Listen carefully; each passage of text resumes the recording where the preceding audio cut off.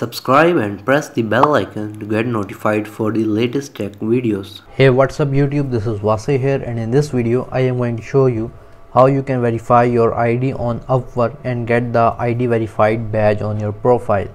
So let's start the video.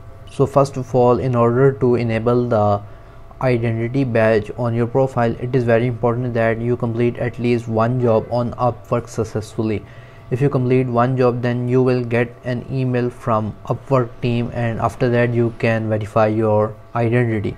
So i have got the email today from upwork. So on the top there will be a link. You're going to open that link in order to verify your your identity. So here this page will open up it's from Mary. Anyways you're going to read all of this. I have already read that. On the mid here there will be a link where it says to get started. Click here. I'm going to press here as I, I have read all the details. If you haven't read the details I prefer you to read the details first. So now here it is saying verify your identity first of all you're going to add your identity card picture or any other go government issue id and after that on the second step you're going to have a video call with one of upworks member so that your id gets verified.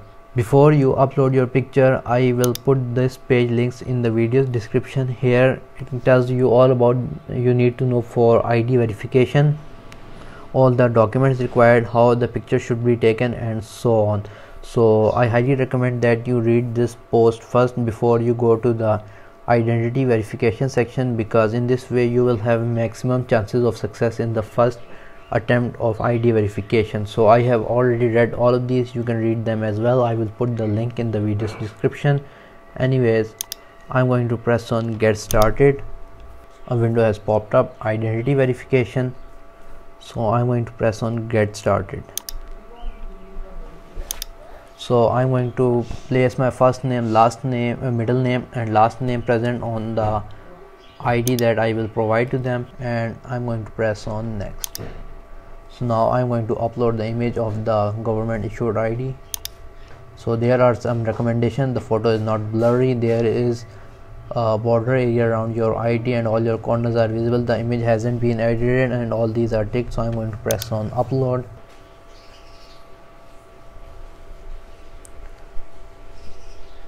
your id was approved. One more step to go.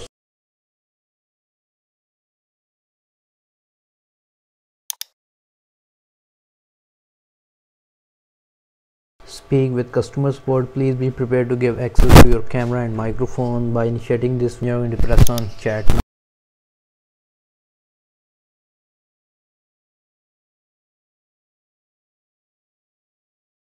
Chat now now we have to wait for the agent so that we can initiate our video call.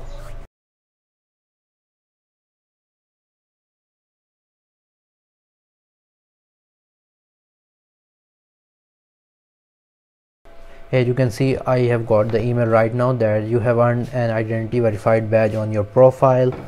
So what happened that when i clicked on the i go to the video chat a new window was opened. I had chat with one of our Upwork team member then they send me a link to do the video chat. I'm not allowed to tell the questions but anyways once the questions were clear i they said that it would take about 24 to 48 hours to complete my verification and after that i could have my badge on the profile.